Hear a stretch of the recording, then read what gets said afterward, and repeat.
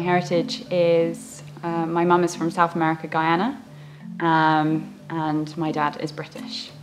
Um, my background is quite mixed. Uh, I'm half German and half Ghanaian. So, what, what, do I say when people ask me the question where I'm from? well, I think it's um, it's a tricky one because I always kind of think, well, what do they want to hear? I would say that I'm black British. I was born here. I'm not ashamed of saying that. The answer to that, I'm I'm a British Asian theatre director. My heritage is uh, Jamaican. My parents are both from a small village in Jamaica, and I'm part uh, Scottish, uh, Jamaican Indian, and Jamaican. I'm from South London, and my parents are from Nigeria, but I was born here in England. I'm mixed race, I'm half Indian, half Zambian. The Beyond the Canon project is a necessary and much needed extension of the work that we do, um, we usually carry out at Artistic Directors of the Future. I met Simeilia Hodge Dallaway, who runs Artistic Directors of the Future, and she had the proposal for Beyond the Canon um, to kind of mount a, a, staging of various of the monologues from the, her audition book for um, Black, South Asian, and Middle Eastern actors.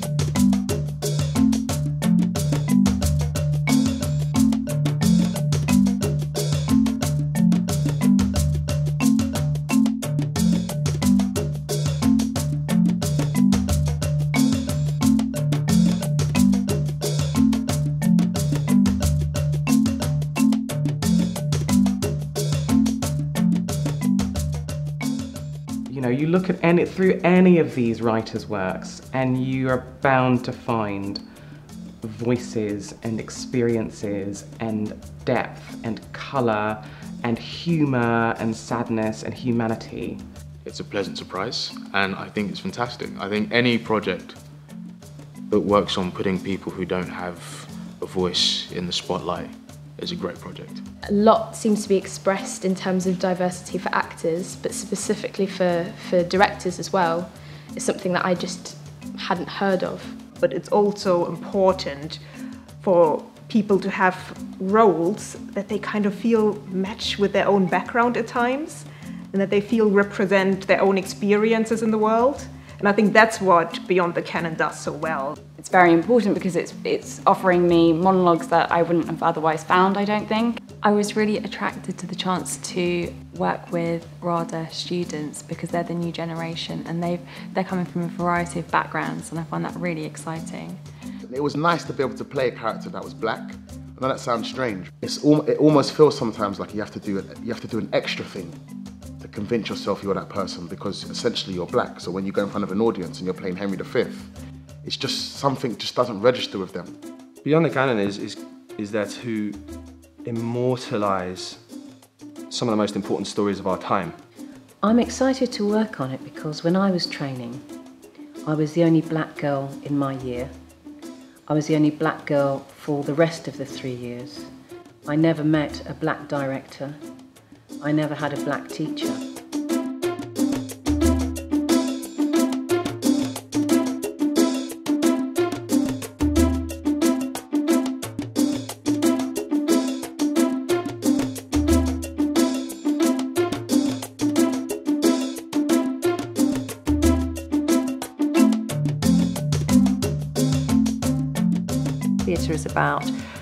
Imagining the world from other people's point of view, and we can only do that if we're working with a diverse range of plays. It's about bringing people together. If all the flowers in the garden are the same colour, you don't have the greatest garden in the world, and I think um, a place like RADA should really be seeking to have a really great, colourful garden. RADA is the first drama school that has um, stepped up, if you like, to the plate to provide a space, a home for this work and this exploration of work that exists beyond the canon. I really do leave the door open for other institutions, for other training institutions to jump on board? The first time that I played a role that was specifically for a black actor was here at RADA. There were actually, in my year, I think there was a bumper year of BAME students. So I think that actually, in terms of diversity, we were doing rather well. Uh, it's great, I think, for our students, um, both the ones who are participating and for the graduates we have participating as well, but also for the rest of the student body who can come and see the work. This project is a lot bigger than when I had this idea to do this many years ago, to be honest with you. But now it's actually here.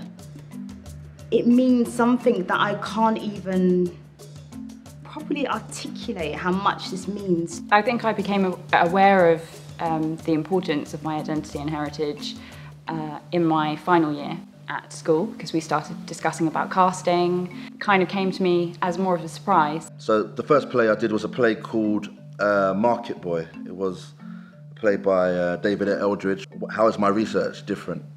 Because before I just kind of go oh, like historically, but for me I was like right, right. I never really looked at my own history. I mean, I had as a person, but I never looked at it in terms of like uh, work. In regards to diversity, I think the theatre scene has a long way to go. I think we uh, have made great inroads, but there is still a long way to go in that we um, need to see more than one brand face per production. There isn't a lot of opportunities for black actors, but I think it's getting a lot better.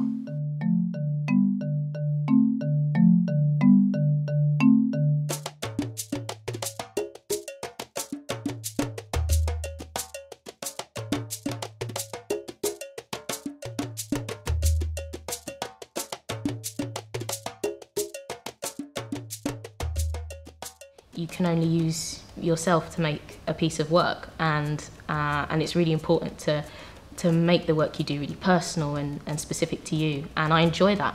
As we were doing our tech run yesterday, I saw many of the actors come up to me individually and inform me how they have never they've never done a text that was written for them.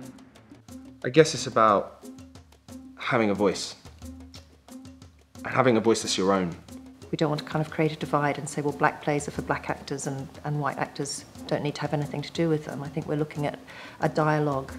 Stuff is distributed. There's what men get, then there's what women get, then there's what people of colour get. I would like to eventually just play a part that the prerequisites and idiosyncrasies have nothing to do with the skin colour because in real life they don't you have to acknowledge the platform that this place is um, and what that communicates to other young, aspiring black actors. When you pick something you, like that, you know that there you have the complete right to play that part. No one will question whether you're suitable for it. What I'm sorry about is that it took a couple of years of thinking that I can play any character to suddenly coming to my last year and being told this it might be specifically this.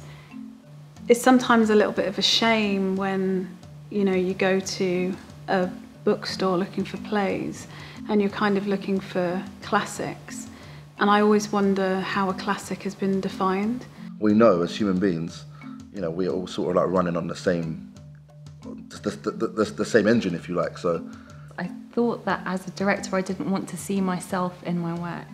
What I've discovered by, by doing this work, actually, I do want to explore my own identity. I think that we have an incredibly diverse industry.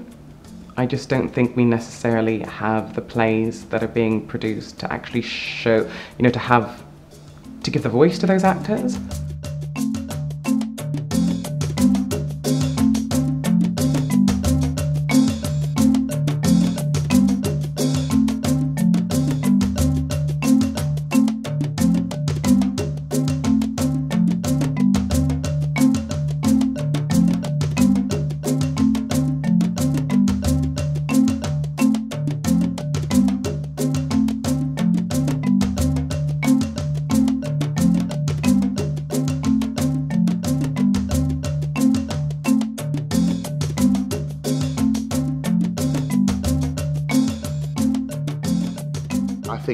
Celebrate that because it means that you're a little bit different and it gives you it gives you something different to work with. just regularity. I'm thinking once a month. My first introduction to sort of how diverse theatre can be was here. Yeah, I, I haven't I haven't played a part that's specifically for my my ethnicity. Um, it was the first time that I was in a play that was a full black cast. I don't know why, but it was such a unique experience. It, it, it, it just seems strange that that has to be a unique experience. Doing acting work, that's something which I'm passionate about doing, I love doing it. But for me, that's the vehicle for the change. I think there are barriers in all levels of society. I don't think it's unique to the theatre and um, film and television industry. I think theatre, film and television industry should be leading on breaking down those barriers. There's a level of commitment by the staff that makes me feel optimistic that this is not going to be the only event that happens. What I'm going to take away from this project is that um, that there is always a way to bring in my experiences into the room um, in a way that is uh, safe and artistically rich. Beyond the Canon is uh, a wonderful event to celebrate diverse writing, diverse performers, and bring us all together. Uh, it was a white male writer wrote a part that starred, uh, uh wrote actually a play that starred two middle-aged black women, and he was actually told to rewrite it so the actors didn't have to be black because the people in the theatre said, well, we can't find middle-aged black women. And I, um, I found that really hard to stomach.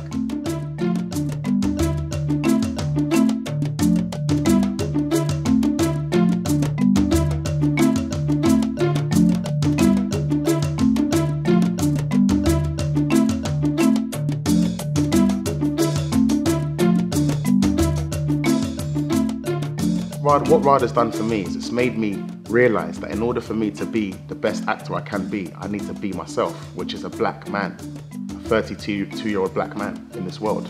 We have a large audience coming in to watch today, um, and it just fills me up to know that they're each going to walk away with a, a piece of, uh, of history, a play that they had never, probably never encountered before. The very fact that we've established this relationship is the highlight for me. The best thing about this process for me is that I'm working with a truly diverse group of people. If you really have a truly artistic heart and a, a true love of the arts and theatre, there's got to be in you a desire to see all of life reflected. When I first started being a theatre director, the reason I wanted to do it was because I loved Greek plays and rock music and performance poetry. It wasn't because I didn't feel like my voice was being heard or that I was submissive or that I was part of a minority. And that's something that I've experienced by being in the industry. It's always brilliant working with students who are still in training and excited and fresh and that they excite you and their energy and joie de vivre is kind of, uh, it's wonderful. I love the idea of um, the richness of the monologues. When I went through the book, I was like, wow, like, it's kind of like, like how, how do I choose? These monologues that Simeilia's put together, they offer like an alternative canon of diverse plays which reflect the world that we're living in. So with this Beyond the Canon project, this thing that we're doing here, I think it's I think it's a brilliant way to get people to see that things are changing. The best plays and the best writing are British stories here. If we're talking about our country and our nation, they're British stories that happen to have voices of culturally diverse performers and writers. And ultimately, globally, they're human stories. I think RADA has made a real commitment to continue down the path of increasing our culturally diverse work and culturally diverse opportunities for our students. This is something we need to see more of. This is something that needs to be said and addressed. No, I, I just think everyone wants a fair chance at things and to, to feel like they have the right, as much as any other person, to do some good work.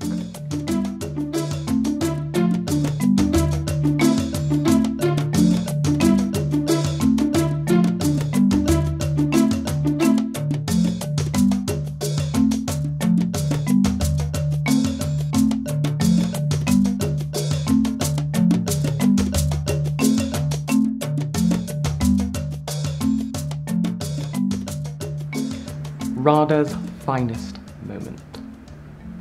Think about the future and, and my place and people like me in the industry. So, pride, optimistic, and fun. To me, it's about opening doors. That's only two words. Opening more doors. That's three. The three words that I would choose for this project have, will be enlightening, daunting, and inspiring. I'd say overdue, uh, important, and groundbreaking. Inspiring, progressive, and uh, union. Empowering, uh, exhilarating, and motivating. If I was going to choose three words to describe Beyond the Canon, I would say it's relevant, powerful, and necessary. Excited, excited, excited. Innovative, diverse, groundbreaking. Three words. It's unfair. um, it's vital, refreshing, and critical. Excited, um, curious, and enlightened.